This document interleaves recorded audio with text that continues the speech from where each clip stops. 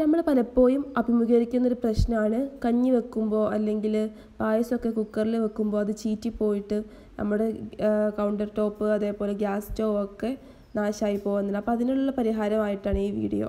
അപ്പോൾ അതിനുവേണ്ടി എന്താ ചെയ്യുന്നത് വെച്ചാൽ കഞ്ഞി വെക്കാനായിട്ട് നമ്മൾ വിസിലൊക്കെ വെച്ചെടുത്തതിന് ശേഷം അടുപ്പിൽ വെച്ചതിന് ശേഷം നമ്മൾ ഒരു നനഞ്ഞ ചെറിയൊരു ക്ലോത്ത് എടുക്കുക.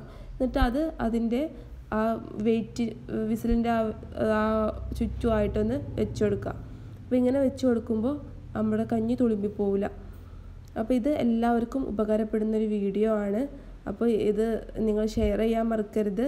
നിങ്ങൾക്ക് എന്തായാലും ഇത് യൂസ്ഫുൾ ആവും ഇങ്ങനെ ഒന്ന് ചെയ്ത് നോക്കുക. അപ്പോൾ കഞ്ഞി വെച്ചതിന് ശേഷമുള്ള ഒരു വീഡിയോയും കൂടെ ഞാൻ ഇതിന്റെ കൂടെ ചേർത്തിട്ടുണ്ട്.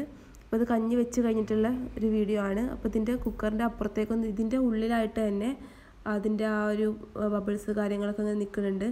പുറത്തേക്കൊന്നും പോയിട്ടില്ല. അപ്പോൾ എല്ലാവർക്കും ഈ വീഡിയോ ഷെയർ ചെയ്ത് കൊടുക്കുക. సబ్స్క్రైబ్ అయ్యాతారండి సబ్స్క్రైబ్ అయ్యా